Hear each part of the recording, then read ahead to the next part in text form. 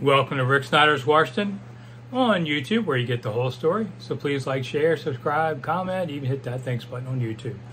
All right, weekend wanderings. Where are we going? It's too hot to go outside. My God, it's a nightmare out there. Okay, but you got to go outside because it's summer. Because I don't want to hear in the winter it's too cold to go outside. And I'm going to split the difference today and say Great Falls, Maryland, or Virginia side because it comes straight down between the two. So you can pick your choice. Which side's better? There's exits on the Beltway to either side uh, before you get to the Legion Bridge. So you can pick your poison. All right, some people feel that Virginia is the better side. It has more parking, better picnic areas, has a better visitor center, and uh, free. And Maryland, well, Maryland charges you a little money if you want to come. Only credit cards too, by the way. 20 bucks for a vehicle, 15 for motorcycles, 10 if you're walking in or biking. Uh, Maryland, man, never misses a chance to grab your money. I'll say that. I live here, and they grab my money. Uh, but uh, if you are a senior, you can get an annual pass to all the national parks, so this is included.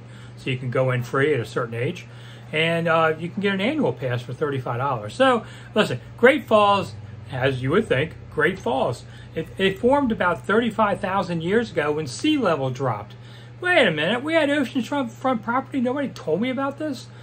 Okay, so I mean it's cool. I you know I think the Maryland side I like the falls a little better, uh, especially if there's been a lot of rain uh, north and it all comes down. It's pretty cool to watch, and you'll see some canal strips on both sides of it because they used George Washington would love canals and tried to create these canal system with locks around it. Yeah, good luck with that, man. But it did eventually fail because hurricanes kind of just wiped out the the C&O Canal, as you know it. Yeah, it went down Georgetown. Same thing. Um, 800 acre park, lots of places to walk, a lot of shade. You know, it's good to get out among the nature, and you'll have a good time at Great Falls. Either side. Maryland's better. No, I don't know. I'm Rick Snider. I'll see you around town soon. Thanks for coming.